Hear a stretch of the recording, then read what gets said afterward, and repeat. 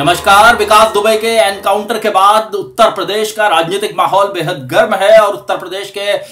विपक्षी राजनीतिक दलों ने योगी आदित्यनाथ सरकार पर निशाना साधा है। कांग्रेस की महासचिव प्रियंका गांधी वाड्रा और समाजवादी पार्टी ने योगी सरकार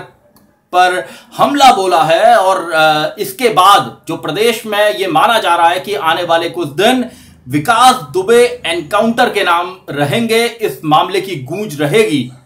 बिकरू गाँव में जब 2 जुलाई की रात को आठ पुलिसकर्मी शहीद हुए, उसके बाद से ही राजनीतिक दलों में इस बात की होड़ लग गई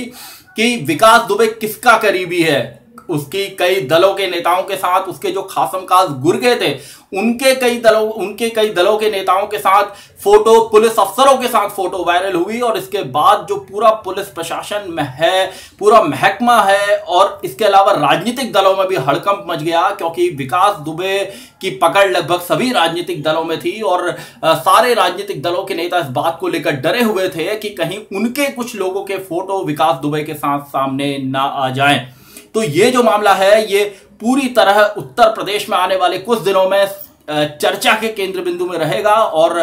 माना जा रहा है कि विपक्षी राजनीतिक दल भी इसको और तीखा और धारदार बनाने से परहेज नहीं करेंगे। विशाल कॉरपोरेट मीडिया के मुकाबले आपसे अपील यह है कि आप आज़ाद पत्रकारिता का साथ दीजिए, इसकी ताकत बनिए, सत्य हिंदी की सदस्यता योजना में आपका आर्थिक योगदान ऐसे नाजुक समय में आज़ाद पत्रकारिता को बहुत मजबूती देगा। डिस्क्रिप्शन का लिंक हम भुगतान का लिंक हम डिस्क्रिप्शन में दे रहे हैं। मैं बात कर रहा हूँ, उत्तर प्रदेश में हुए कुख्यात बदमाश विकास दुबे के एनकाउंटर की। इस एनकाउंटर के बाद सबसे पहले समाजवादी पार्टी के मुखिया अखिलेश यादव का ट्वीट आया। और अखिलेश यादव ने बहुत तल्ख अंदाज में कहा, क्योंकि जैसा पुलिस ने बताया कि जिस गाड़ी में उज्जैन से कानपुर लाया जा रहा था विकास दुबे को, उस गाड़ी का एक्सीडेंट हुआ और एक्सीडेंट होने के बाद विकास दुबे ने पुलिस कर्मियों से पिस्टल लेकर भागने की कोशिश की, फायरिंग की और जवाबी कार्रवाई में विकास को गोलियाँ लगी और अस्पताल में उसकी मौत हो गई। इसे लेकर अखिलेश यादव ने ट्वीट किया और उन्होंने ये कहा, तंज ये कहा कि दरअसल ये कार नहीं पलटी है। राज खुलने से, सरकार पलटने से बचाई गई है। तो इसके बहुत मायने निकाले गए, क्योंकि ये माना जा रहा था, जिस तरह विकास दुबे के तमाम राजनीतिक दलों में संबंध थे, उससे लग रहा था कि अगर विकास दुबे से पूछताछ होगी, और उसने अगर कुछ बातों को कहा तो इससे निश्चित रूप से कुछ आला अफसरान नेताओं, ब्यूरोक्रेट्स को मुश्किल हो सकती है। इस तरह की बातें लगातार कही जा रही थी। उसके बाद प्रियंका गांधी वाड्रा ने भी तीखा हमला बोला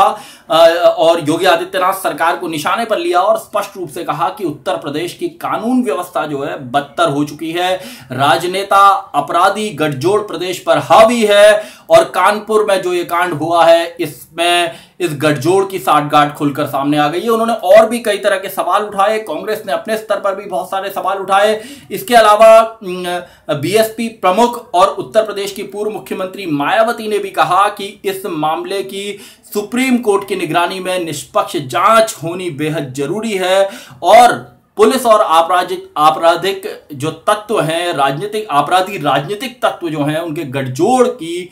सही शिनाख्त होनी चाहिए, उन्हें सजा दिलाई जानी चाहिए। तो ये कुल मिला उत्तर प्रदेश में जो विपक्ष है, उसने एक तरह से इसे मुद्दा बनाया है और कहा है कि इस मामले की उच्च स्तरीय जाँच होनी चाहिए। इसको लेकर, एनकाउंटर को लेकर बहुत सारे सवाल भी उठे और देखना होगा कि आने वाले दिनों में उत्तर प्रदेश में जो राजनीति है, वो विकास दुबे एनकाउंटर पर कितने लंबे समय तक चलती है, क्योंकि जिस तरह के आज तीखे तेवर विपक्षी राजनीतिक दलों ने दिखाए हैं, उसे माना जा रहा है कि ये दल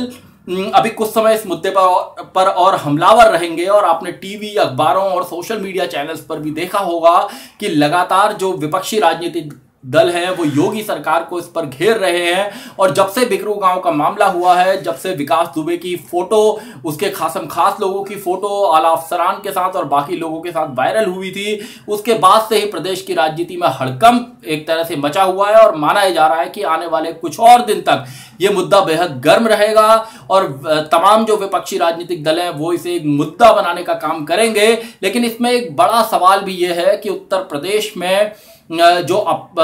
जिस तरह ये वाकया हुआ जिसमें विकास दुबे की मतलब दुर्दांत अपराधी और जितना इसने दुस्साहस किया कि पुलिस के आठ जवानों को